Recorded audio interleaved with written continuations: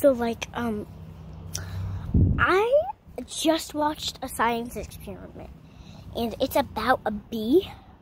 So I just found a bee and it shows that they're licking.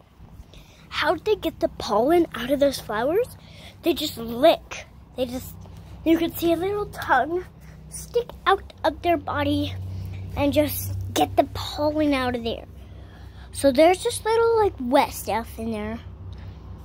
And um so yeah, there's this little wet stuff and flowers. So they're like that big, I guess.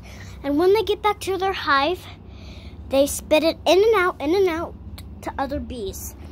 And that that's what makes the honey.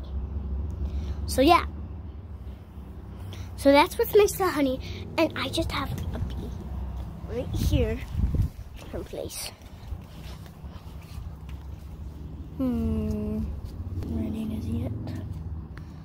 Look at that bee. If you can see it. Oh, I think I messed it bee to fly away a lot. Hey, Gabriel. Kelly Miller. Yeah. Okay, one second, guys. Uh, Sorry, sorry, sorry. Um, I just needed a really good second. Oh my gosh, look at, look at this. That. Oh.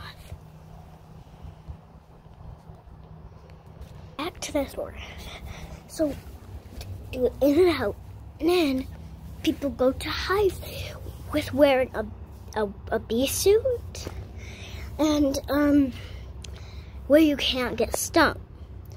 And then they just touch the hives a little bit and then just get the honey and then sell it. That's all they do. And then that's all they they just like spit it in and out. That's what makes the honey and it gets it I know. It gets really really gross, but literally it's that's what it does, okay? So, that's all for me. Bye.